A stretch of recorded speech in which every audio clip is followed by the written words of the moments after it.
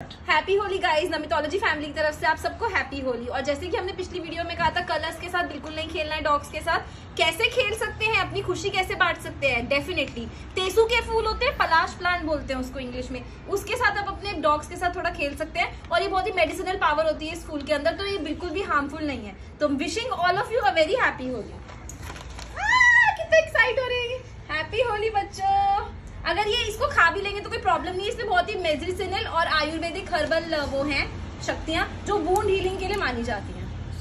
happy Holi ओला happy Holi बब्सी happy Holi see you until next time